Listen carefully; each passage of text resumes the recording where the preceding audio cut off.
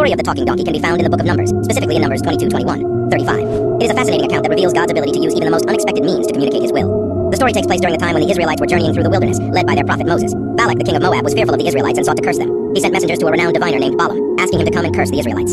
Balaam set out on his journey, accompanied by his donkey. However, God was displeased with Balaam's intentions and sent an angel to stand in his path.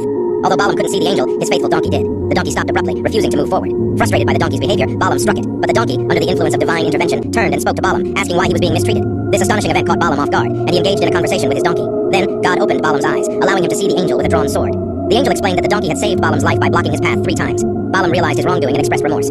This extraordinary incident taught Balaam a valuable lesson about God's sovereignty and the importance of obedience. Despite Balaam's initial intention to curse the Israelites, God used a talking donkey to prevent him from carrying out his plan. It demonstrated that God can communicate his message through any means he chooses, even through the most unlikely sources. The story of the talking donkey reminds us that God's ways are beyond our comprehension. It encourages us to remain open to his guidance and to be attentive to the signs he places in our path. It also teaches us the significance of humility and obedience in our relationship with God, as he can use the most